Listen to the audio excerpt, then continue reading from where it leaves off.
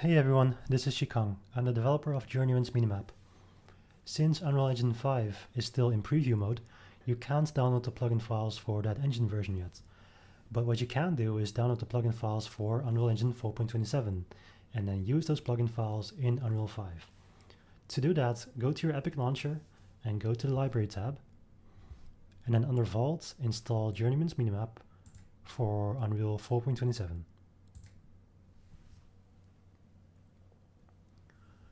Once that download is complete, go to your Unreal Engine install location, which is, uh, for me, it's C Unreal Engine and then UE 4.27.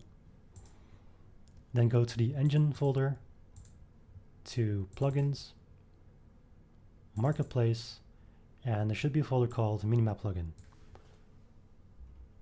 Copy that folder, then go to your game project,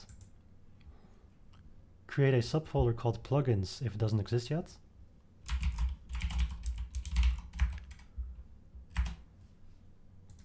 Then paste that Minimap plugin folder into this folder.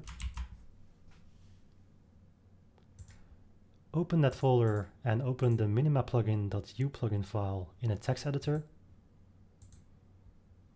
And then change the engine version value to 5.0.0. Then regenerate your game project's Visual Studio files and you're all set.